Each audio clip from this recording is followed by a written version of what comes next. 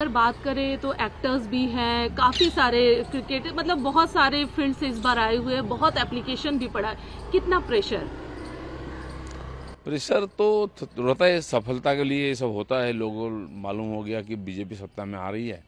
इसलिए समाज के, हर वर्ग के लोग भाजपा में शामिल होना चाहते हैं और राजनीति में अपना योगदान देना चाहते हैं। हम भी जहाँ तक संभव सबको मिला करके, एक टीम बना करके और सरकार बनाने का प्रयास में है। ममता दीदी की अगर बात करें, जो तमाम घटनाक्रम हुए, अब व्हील चेयर में वो अपने घर गई और उसके बाद इलेक्शन कमीशन में जो रिपोर्ट आया है, उसमें ये बात आई है कि कार्ड से चोट लगी थी। हालाँकि बहुत क्लैरिटी नहीं है। इसको किस तरीके से देखते हैं दिलदेव? ठीक, इलेक्शन के पहले क्या ये उनके लिए स्ट्रांग पॉइंट साबित होगा या फिर कुछ ऐसा? नहीं, देखिए, राजनीति में बहुत सारा तरीका लोग अपनाते हैं। ममता बनर्जी की स्थिति ऐसी है कि पार्टी टूट रही है। उनके जो पुराने सिपाही पार्टी खड़ा करने में जिनका बड़ा योगदान रहा, ऐसे लोग पार्टी छोड़कर भाग रहे हैं। अब उनके लिए स्टार प्रचारक भी नहीं है, पार्टी को लड़ाई में सामने से लीड करने वाले।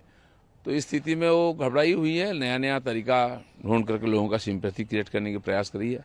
जहाँ तक तो मालूम हुआ, डोर खोल करके खड़े होकर वो रोड शो में जैसे हाथ दिखाते ऐसे ही कर रही थी।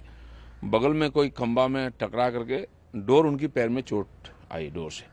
स्वाभाविक है तो चोट होता है तो ट्रीटमेंट होना चाहिए, लेकिन उसको लेकर राजनीति जब शुरू हो गया, तब माहौल गर्म हुआ, उसको लेके प्रदर्शन बंद, रास्ता में जुलूस। तो इस प्रकार राजनीति से बंगाल को कुछ मिलने वाला नहीं है।